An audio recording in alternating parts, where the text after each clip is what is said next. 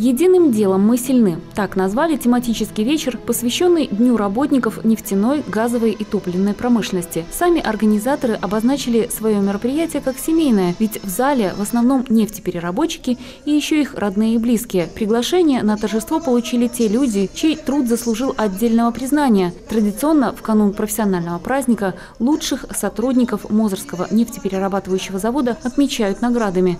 Но слова благодарности, как всегда, звучат в адрес всех работников без исключения. Прожит еще один год, наполненный профессиональными победами. Благодарю коллектив за такую достойную работу.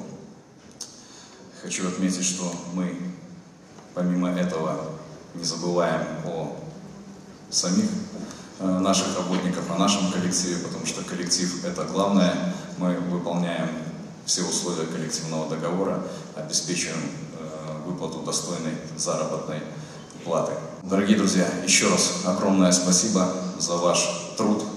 Еще раз с праздником, здоровья, благополучия, удачи и успехов.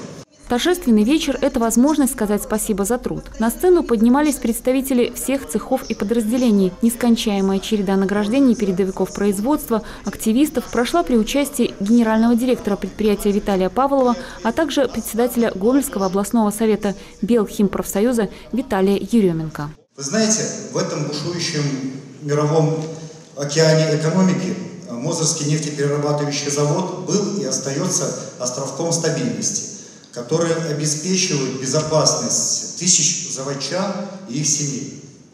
Но ни одно достижение, ни одна победа э, предприятия, даже такого высокотехнологического, э, как Мозовский нефтеперерабатывающий завод, не были бы возможны без вас, без опыта ветеранов, без вашего ежедневного кропотливого труда, без мудрого, иногда такого даже рискованного э, решений руководства предприятия.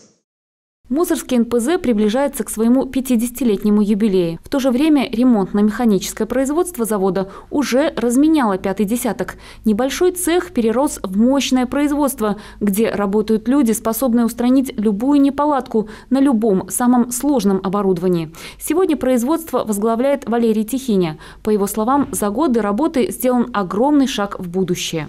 Пришел, пришел я на завод в 86 году. Вот. Э, значит, работал слесарем дежурно-диспетчерской службы.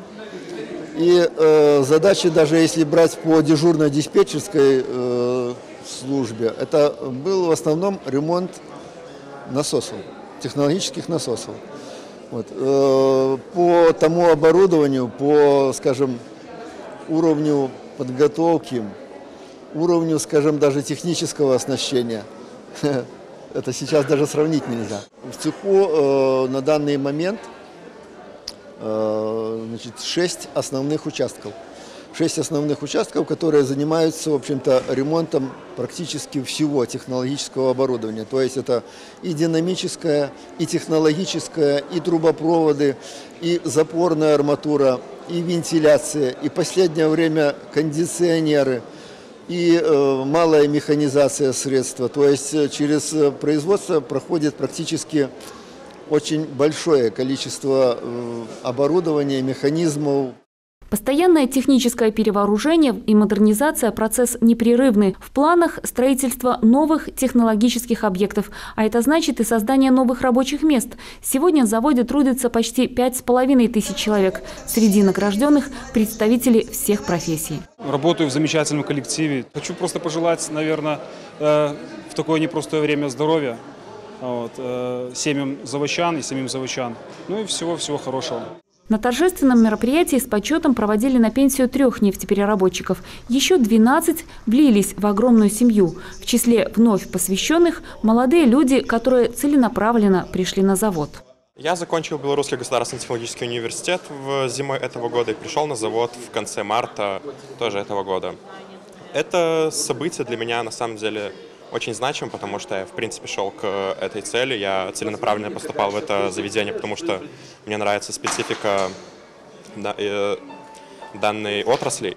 Бесконечные награждения, чествования и посвящения переплетались с яркими творческими номерами.